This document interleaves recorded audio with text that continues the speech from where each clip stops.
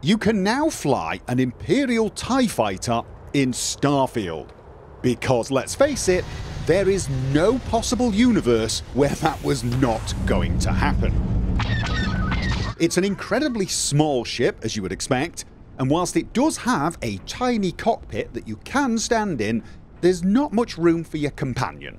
Oh, and it can have a crew of two, but where they are is a mystery best left untouched, to be honest. You have to build the ship yourself in the shipbuilding menu using 20 new ship parts, and it can be a little fiddly because it is kinda small. You will need to add a line to your Starfield custom.ini file and add the line fshipbuilder module overlap tolerance equals minus 4 into a section marked spaceship. Otherwise, you're going to have trouble adding some of the smaller items like the laser weapons.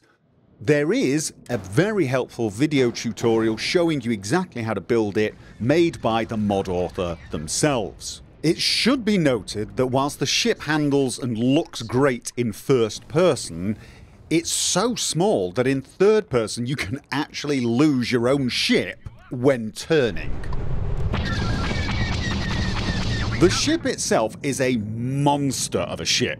Whatever it's made of makes it as tough as a military cruiser, it packs a serious punch, and it's so fast that you may need to go easy on the boost unless you want to overshoot your target by a couple of solar systems. It's seriously overpowered, but I mean who cares, right? Unless you want lore friendly, because there is no way you can argue that this thing was made by a fan of the 20th century movies using 23rd century technology it is quite obviously from a galaxy far, far away. Now, the mod author has made many other ships from this particular galaxy, and I'm definitely going to be checking those out. The player homes in Starfield are seriously underfurnished and undecorated when you buy them. But unlike player homes in a game like Skyrim, you can't just pay somebody to decorate for you. You'll need to build everything yourself, and you can't even just buy the furniture and place it yourself. Nope, instead you'll need to go out, harvest all of the raw materials and then build everything from scratch like you're living on some sort of frontier planet or desert island. And honestly, I've pretty much not got any time for that at all. At best, I end up putting in a bed, some workbenches, and that's it. But even if I did decide to put the time in and try to decorate it myself, I know that after 20 hours of decorating, it would still just look like an IKEA showroom rather than an actual home. So for me, Ellie's Akila Stretch home overhaul is an absolute godsend. It just furnishes the apartment with everything I'll ever need, things like bed, workbenches, containers, display cases, etc.